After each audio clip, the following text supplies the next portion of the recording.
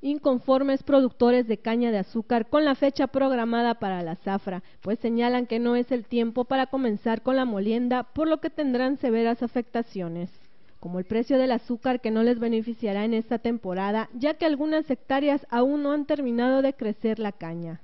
Está un poquito mal, estamos mal, quieren comenzar una zafra que no, que en verdad no es su tiempo para comenzarla y la verdad que no este no estamos en el tiempo adecuado para hacerlo. Estamos fuera de tiempo porque es cierto de que quieren comenzar una zafra porque eh, tienen demasiado caña y por eso la quieren comenzar temprano porque no, no van a alcanzar en el tiempo que es conveniente para el que azucarero, no, no la van a alcanzar a moler. Estos acuerdos de adelantar la temporada de la zafra fueron por los líderes del ingenio azucarero, que no informaron a los productores que la zafra comienza el día 15 de octubre. Nosotros lo hemos, lo hemos manifestado muchísimas veces.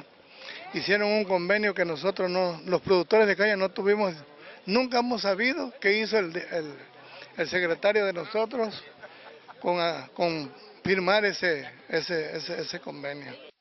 Mencionaron que esta temporada de zafra solo beneficiará a algunos productores, mientras que otros consideran que tendrán afectaciones por adelantar esta temporada. Para Notivisión, Paulina Gutiérrez.